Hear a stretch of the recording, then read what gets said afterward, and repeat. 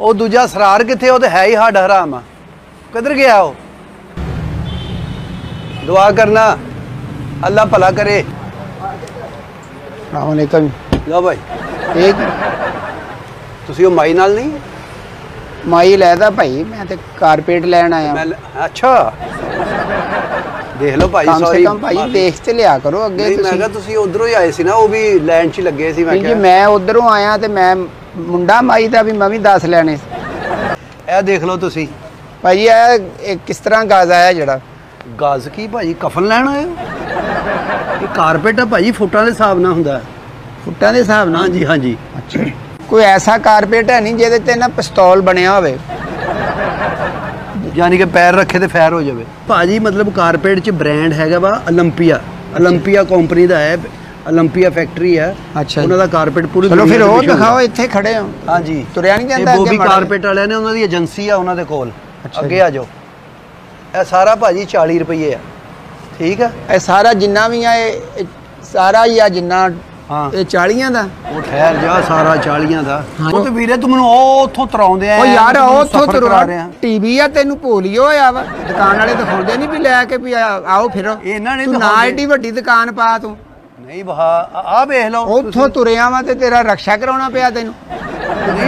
ਅੱਛਾ ਤੂੰ। ਦਿਖਾਉਣਾ ਨਹੀਂ ਮੈਂ ਜਿਹੜੀ ਮੈਂ ਨਾ ਕਦੀ ਵੀ ਮੈਂ ਨਾ ਅਫੋਰਡ ਨਹੀਂ ਕਰਦਾ। ਲੇਕਿਨ ਮੈਂ ਆਪਣੇ ਬੱਚਿਆਂ ਵਾਸਤੇ ਨਾ ਜਿਹੜਾ ਮੇਰੇ ਬੱਚਿਆਂ ਨੂੰ ਉਹਨਾਂ ਨੇ ਇੱਥੋਂ ਗਿੱਚੀ ਹੱਥ ਦੇ ਕੇ ਕੱਢਿਆ ਨਾ ਕੱਲ ਕੱਢ ਰਹੇ ਆ? ਮੈਂ ਦੱਸਿਆ ਭਾਈ ਮੈਂ ਦੱਸਿਆ ਵਾ। ਇਹ ਠੀਕ ਆ। ਲੇਕਿਨ ਆ ਦੇਖੋ ਨਾ ਸਪਾਟ ਜਿਹਾ ਬਣਿਆ ਵਾ ਇਦਾਂ ਨਾ ਰਾਹ। ਤੇ ਇੱਥੇ ਜੋ ਚਾਹ ਰੁੜ ਜੇ ਬੰਦੇ ਦੀ ਤੇ ਕੀ ਕਰੇ ਫਿਰ? ਦੋ ਰਸ ਲੈ ਕੇ ਤੇ ਕੋਲ ਬਹਿ ਜਾਵੇ ਭਾਈ ਆ ਦੇਖੋ ਨਾ ਆ ਇੱਥੇ ਵਾਈਟ ਚੱਲਿਆ ਵਾ ਜਿਹੜਾ। ਵਾਈਟ ਚੱਲਿਆ। ਚੱਲਿਆ। ਜੇ ਜੇ ਵਿੱਚ ਸਾਲਡ ਡੁੱਲ ਜਾਵੇ ਹਾਂ। ਫੇਰ? ਬਿੱਲੀ ਛੱਡ ਦੇ।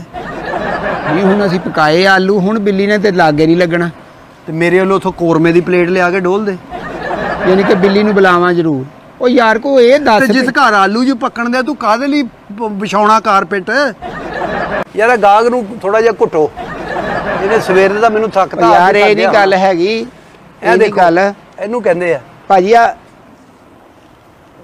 ਵੇ ਸਹੀ ਲੱਗਦਾ ਨਾ। ਚੁੱਭਦਾ ਵਾ ਚੁੱਭਦਾ। ਹੈ? ਚੁੱਭਦਾ। ਚੁਬਣਾ ਹੀ ਆ ਜਦੋਂ ਤੂੰ ਕਦੀ ਫਿਰਿਆ ਹੀ ਨਹੀਂ ਘਾਹ ਤੇ ਤੇ ਚੁਬਣਾ ਹੀ ਆ। ਕੀ ਰੇਟ ਆ ਭਾਈ? ਹਾਂਜੀ? ਇਹਦਾ ਕੀ ਰੇਟ? ਇਹ ਹੈਗਾ ਜੀ 20 ਰੁਪਏ ਕਿਲੋ। ਹਾਂਜੀ? ਘਾਹ ਜੂ ਹੋਇਆ ਫਿਰ 20 ਰੁਪਏ ਕਿਲੋ ਹੀ ਦੱਸਣਾ ਸੀ ਇਹ ਵੀ ਫੁੱਟਾਂ ਦੇ ਹਿਸਾਬ ਨਾਲ ਹੁੰਦਾ। ਇਹ ਭਾਜੀ ਹੈਗਾ ਜੀ 170 ਰੁਪਏ ਫੁੱਟ। ਹਾਂਜੀ। 170 ਰੁਪਏ। ਜਿੱਦਾਂ ਜਿੱਦਾਂ ਘਾਹ ਮੋਟਾ ਹੁੰਦਾ ਜਾਏਗਾ ਰੇਟ ਵੱਧਦਾ ਜਾਏਗਾ। ਕੀ ਪਾਣੀ ਵੀ ਲਾਉਣਾ ਪੈਣਾ ਇਹਨੂੰ? ਵੱਡੀ ਭਾਜੀ ਆ ਛੋਟੇ ਆ। ਆ ਨਾ ਛੋਟਾ ਭਾਜੀ ਹੁੰਦੇ ਹੀ ਛੋਟੇ ਆ। ਇਹਦੇ 'ਚ- ਵੱਡਾ ਸਾਈਜ਼ ਥੋੜਾ ਦਿਖਾ ਦਿਓ ਜੀ। ਇਹ ਦੇਖ ਲਓ ਭਾਜੀ। ਇਹ ਸਾਰਾ ਤੁਰਕੀ ਦਾ ਕੰਮ ਆ। ਹਾਂਜੀ। ਤੁਰਕੀ ਵਾਲਿਆਂ ਦਾ। ਨਹੀਂ ਭਾਜੀ ਇਹ ਨਹੀਂ ਪਸੰਦ ਹੈਗਾ। ਕਿਉਂ? ਮੈਨੂੰ ਉਹ ਚਾਹੀਦਾ ਜਿਹੜਾ ਅਰਤਗੁਲ ਨੇ ਹੱਥੀ ਬਣਾਇਆ ਹੋਵੇ। ਉਹਨੇ ਮੈਨੂੰ ਤਲਵਾਰ ਇੱਕ ਭੇਜੀ ਉਹਦੇ ਨਾਲ ਤੇਰੀ ਮੈਂ ਗਰਦਨ ਨਾ ਲਾ ਦਿਆਂ। ਯਾਰ ਉਹ ਅਰਤਗੁਲ ਇਹ ਕੰਮ ਕਰਦਾ ਉਹ ਭਾਜੀ ਆ ਦੇਖੋ ਨਾ ਇਹ ਤੇ ਵੈਸੇ ਹੈ ਨਰਮ ਆ। ਉਹ ਨਿਆਣਿਆਂ ਵਾਸਤੇ ਨਾ ਇਹ ਜ਼ਿਆਦਾ ਬਿਹਤਰ ਜਦੋਂ ਨਿਆਣਿਆਂ ਨੇ ਐ ਕਰਨਾ ਨਾ।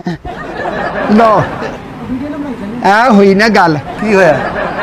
ਭਾਈ ਆ ਕੀ ਲਿਖਿਆ ਇੱਥੇ? ਵੈਲਕਮ। ਵੈਲਕਮ। ਲਓ ਜੀ। ਉਹ ਕਿੰਨੇ ਪੈਸੇ ਬਣਦੇ ਸੀ ਉਹਨਾਂ ਦੇ? 47000 ਭਾਜੀ ਭਾਜੀ ਉਹ ਬੰਦ ਕਰ ਦਿਓ ਸਾਰਾ ਕੱਟ ਕੁੱਟ ਦਿਓ ਪੈਸੇ। ਕਿਉਂ? ਹਾਂ ਮੈਂ ਸ਼ਰੀਕਾਂ ਨੂੰ ਵੈਲਕਮ ਹੀ ਕਰਨਾ ਮੇਰਾ ਸਰ ਗਿਆ। ਮੈਂ ਆ ਕਿੰਨੇ ਦਾ ਵੈਸੇ?